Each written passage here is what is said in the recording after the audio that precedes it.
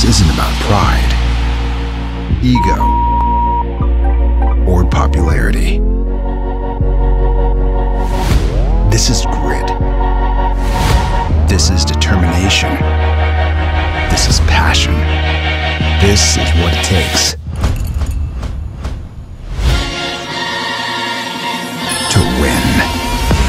The search for more control, more focus, speed. To make the ultimate gaming mouse, it needs speed and stability. It needs to be precise and instinctive.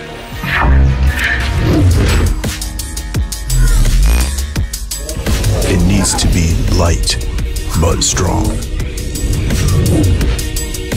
It needs to be reliable and swift. It needs to last. It needs to be ready.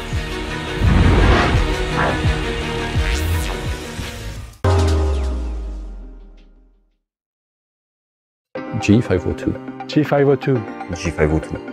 The G502. It's time to talk about the new G502. The G502, where do you want me to start? G502 is Unconventional. iconic. And it's brilliant.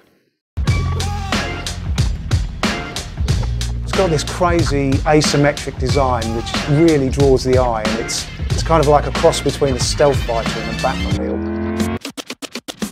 Well, the first time I saw the shape uh, with all these edges on the G502, I felt that it was something very different. You know, when it first came out in 2014, I believe it, it, it nailed sort of that spot on combination of, of form factor and functionality. When you have something that people like and you try to modify it, it's always tricky. So it's built up this community of devoted fans who are absolutely dedicated to this mouse. There was still something the community was asking for. It's time to bring the Lightspeed technology into the G502. We have the new, very efficient Hero 16K sensor, weight tuning, and also PowerPlay compatible, so you can recharge while you are using it. After the years, the reason of the success is probably the feature set.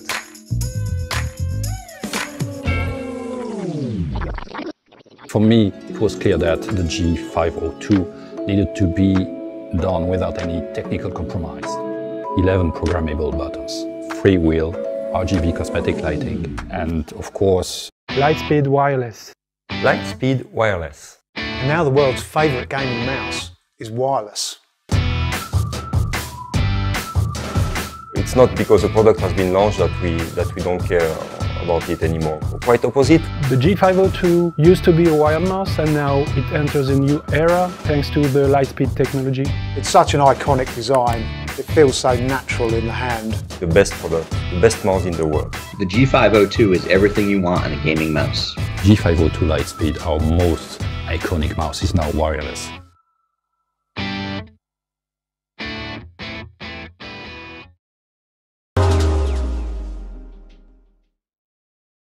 Hey guys, it's FaZe Megga and this is my SteelSeries setup. SteelSeries Rival 3 is just very light and it's really easy to move around. My sensitivity on Fortnite is like 2.8, but my DPI on the mouse is 1600. I play very low sense, but my DPI is like high. So the Rival 3 is easy to hold and the side mouse buttons are just perfect for me. All right, so right now my keyboard's blue and purple, my mouse pad's blue and purple, and right now we have like a sort of a rainbow color mouse and I'm gonna switch that. And it's very easy to customize. You have like different settings you could change. You could click blue, for example, or purple. And this little part right here is highlighted purple. You can just keep doing that with all the other colors and just very easy to set up as you can see. Just illumination and then just click the colors. All right, so I have really high DPI but low sense in game. So it might look like I have high sense, but the mouse is so like lightweight and it's just very easy to track.